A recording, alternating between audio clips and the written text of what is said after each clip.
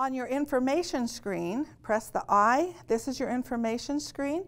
This is your lifetime stitch count.